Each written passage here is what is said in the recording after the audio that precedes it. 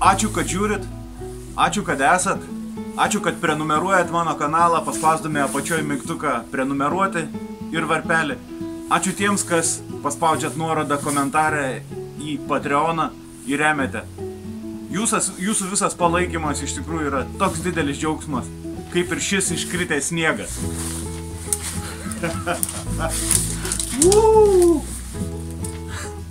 Nerealu. Būnant mieste, kol esu pastrigęs per tokį apsnigimą, sugalvojau, kad mano priekabai reikia tento. Tai nusipirkau ir pradėsiu tokią uždangalo gamybą. O dabar reikia viską išsimatuoti papildomai.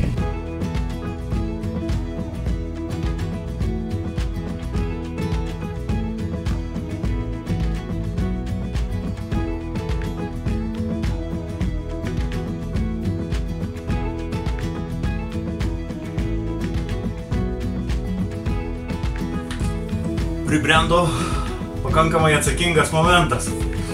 Nesu nie kartą gyvenime litavęs tentą, tai kas profesionalai ir uh, žiūrėsit šitą video labai smarkiai nekritikuokit. Uh, tai svarbiausia man, kad tarnautų pagal pirminę funkciją, uždengtų priekabą. Jo, daug matavausi, galvojau apie užlaidas, kaip kilpas vėliau dėsis ir taip toliau, tvirt, kaip toliau tvirtinsis pats tentas. Bet dabar atsakingas momentas imtis feno.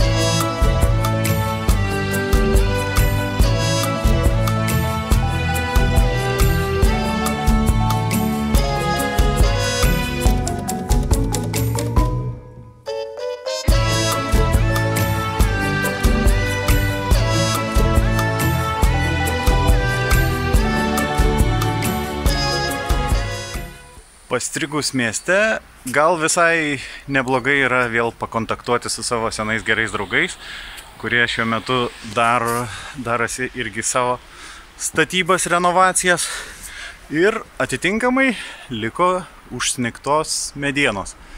Kažkiek tai gal ne pirmos kokybės, bet ne tame esmė. Esmė, kad ji gali būti dar kartą panaudota, o planą turiu pasistatyti vištininką. Vištas bus turbūt vienas iš pirmųjų gyventojų, kurios aš planuoju čia įeisti, suteikti jums savo kapstytis.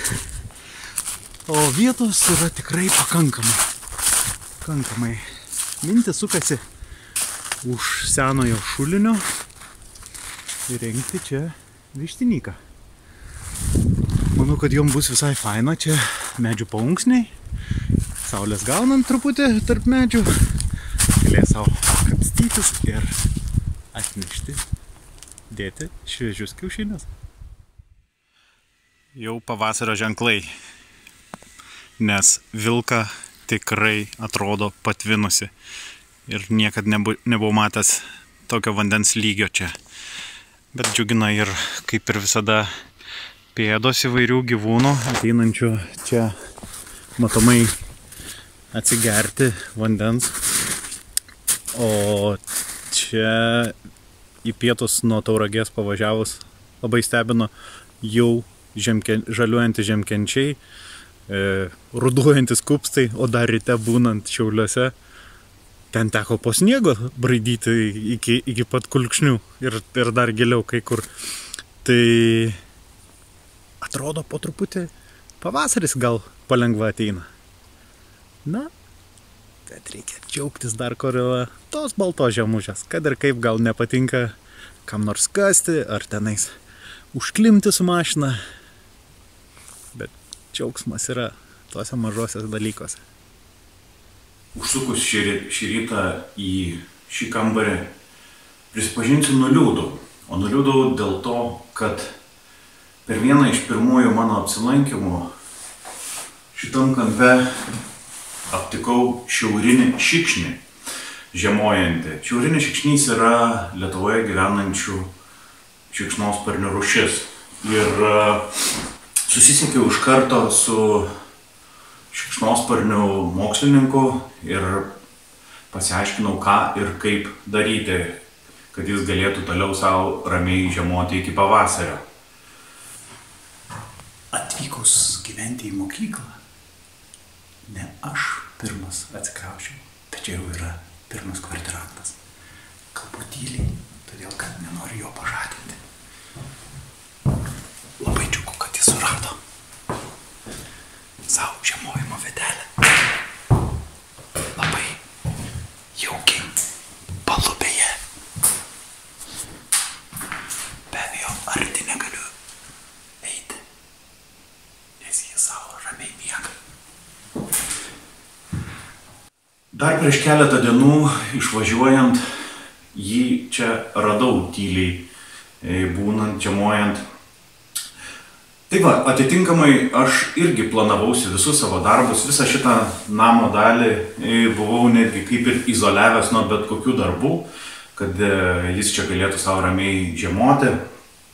Bet va, atėjau ir nuliūdau, nuliūdau ir nes norisi, kad e, čia gyventų ir ankstesni gyventojai, ir, e, na, gal pelių tiek nesinori, bet, e, bet apskritai noriu sakyti, kad šitoje vietoje norisi balanso, balanso su artima aplinka, laukinė gamta ir kažkaip tai stengtis su ją sugyventi ir jai suteikti galimybę toliau gyventi.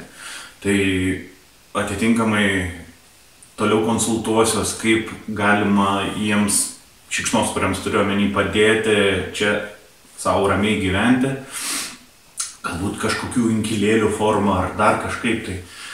Tai va, o šikšnio išvykimas man reiškia, kad aš galiu pradėti tolesnius darbus. Prasideda ir nauji vidaus darbai. Ir reikia imtis grindų lupimo, nes yra senų supuvusių grindų, kad dedikoja ir viskas smenga gilin.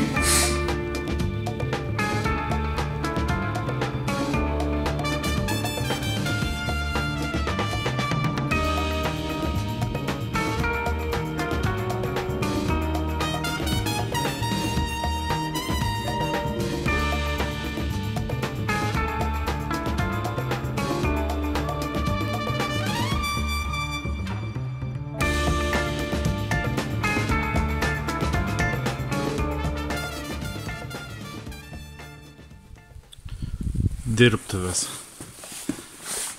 kuriuose visokio gėrio yra likę ir kuri, kur, kuris primena puikiai visą mokyklos veiklą.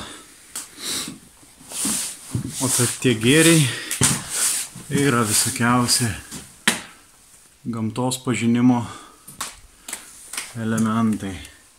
Formaldehide kažkas įvairiausi užsaugoti, įvairios dėžės su visokiais mėginėliais. Chemijos pamoką primena kolbos, gamtos pažinimo ir biologija įvairiausių sėklų pavyzdžiai išsaugoti. Taipogi dėžutėse pilna įvairiausių kitų gamtos pažinimo elementų, kaip ir medvilnės pavyzdys. Ir taip toliau. Pilna įvairiausio gėrio. Manau, bus labai smalsu pasižiūrėti, kaip būtent kai kurios sėklos galbūt vėl parodys savyje sukauptą gyvybę ir naujai prabus. Taigi, darbelio yra pakankamai, pastatas irgi pasmukęs ir truputį jau sienos kažkada prašysis savo papildomo darbo. Na, bet pradžiai gyvenimo tarnaus ir man kaip paprastos dirbtuvės. Ir čia bus kūriama įvairiausių darbelių. Ir esu dėkingas, kas surinko dar ir čerpių, kurios tikiu galbūt pasitarnaus gyvenamo namo remontui.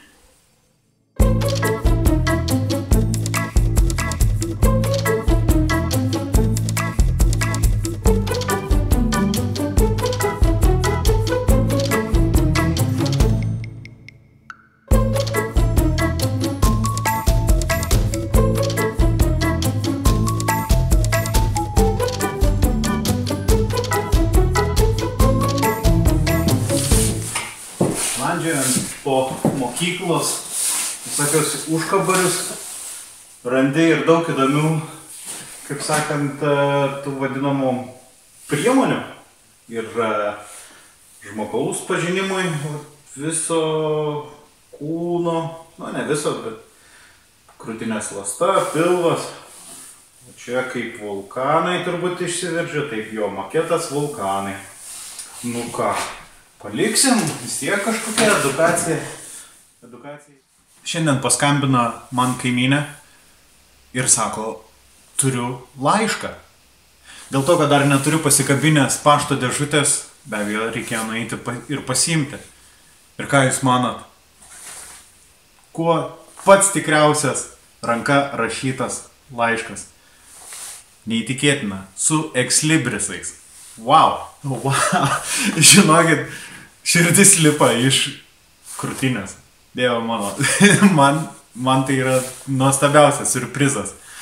Iš uh, Lolitos uh, Braza Putramentienės, nuostabios menininkės, ekslibrisų kūrėjos ir mano labai artimo gero draugo Mato mamos. Palaikymas. Palaikymas e, yra toks savitarpio dalykas ir, ir tai reiškia, manau, kad kiekvienam daug ir man labai reiškia jūsų palaikymas. Ir e, aš noriu jūs palaikyti, nežinau, įkvėpti savo pavyzdžių, savo darbais, e, gal kažką irgi imtis daryti, kada bus galima, kada norėsite, ar bus įmanoma, kviečiu atvykti čia į būro kiemą irgi įkvėpimui, virsmui ir, ir pokyčiam, savitarpio palaikymui. Tas yra svarbu, tas yra svarbu, man atrodo, visuomeniai, nuo to mes tik tai geresni, man atrodo, tampame per savitarpio pagalbą. Tai dar kartą esu dėkingas Lolitai už nuostabų kūrinį ir surprizą ir ačiū Jums. Tikra dovanų diena. Užsuko kaimynas ir atnešė agurkėlių ir raugintų marinuoto. Sako, bus užkasti, nes žino, kad dar e, šilto maisto čia pas mane nelabai yra, tai sakau, valgau duonas lašiniais ir, su, ir kumpelį. Tai sako, o kaip be agurkėlių? Gaila, negalėjo, nenorėjo filmuotis, tai vienaip ar kitaip. Esu dėkingas.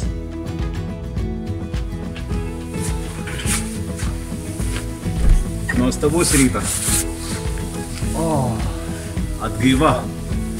Atgaiva išeiti, rytinę arbatą gerti. Savo paties rinktų liepžiedžių. Ir džiaugtis šiuo žiemišku vaizdu.